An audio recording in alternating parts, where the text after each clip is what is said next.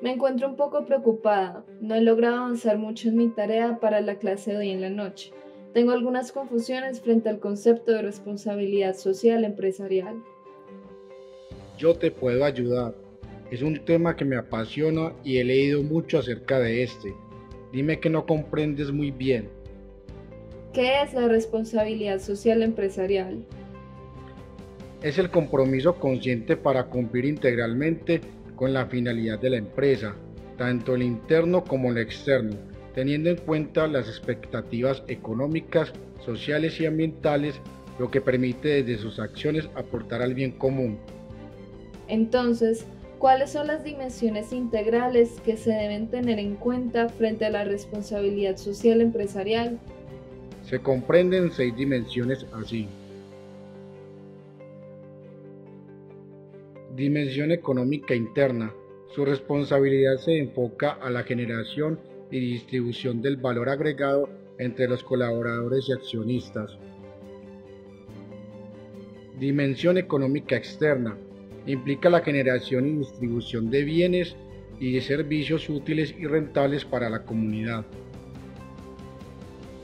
Dimensión social interna implica la responsabilidad compartida y subsidiaria de inversionistas, directivos, colaboradores y proveedores para el cuidado y fomento de la calidad de vida en el trabajo y el desarrollo integral y pleno de todos ellos.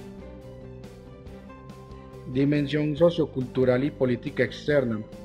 Conlleva la realización de acciones y aportaciones propias y gremiales seleccionadas para contribuir con tiempo y recursos a la generación de condiciones que permitan y favorezcan la expansión del espíritu. Dimensión ecológica interna implica la responsabilidad total sobre las repercusiones ambientales de sus procesos, productos y subproductos y por lo tanto la prevención en su caso remedio de los daños que causen o pudieran causar. Dimensión ecológica externa conlleva la realización de acciones específicas para contribuir a la preservación y mejora de la herencia ecológica común para el bien de la humanidad actual y futura. Ahora comprendo cómo cada una de estas dimensiones lleva a la definición de las estrategias de acción específicas para que cada empresa actúe de acuerdo a su propio contexto, tome a su cargo y costó la realización de proyectos completos en lo individual o de manera colaborativa con otros actores y o sectores que compartan metas similares. Así es, Mariana. De esta manera se consolida todo un trabajo en equipo y permite mejores resultados en las empresas. Tu información ha sido muy útil. Te agradezco el tiempo y las claridades que me has brindado frente a este tema tan importante. Debo irme. Mi clase comienza en unos minutos. thank you.